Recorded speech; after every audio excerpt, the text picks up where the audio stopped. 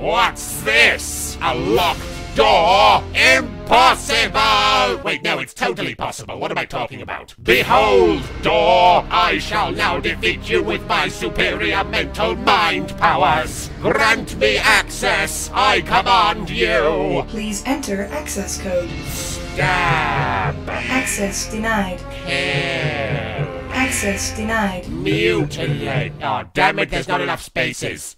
Okay, um.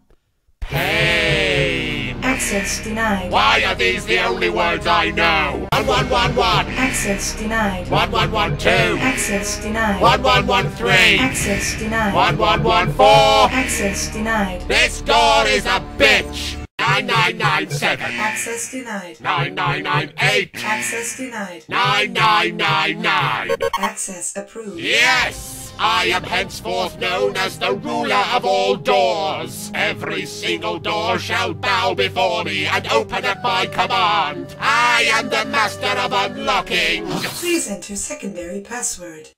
No! Curse you, door! From this day forth I swear vengeance! I shall hunt down your kind and murder them into extinction! Oh my god, what's happening to my face? This has never happened before, what the frig?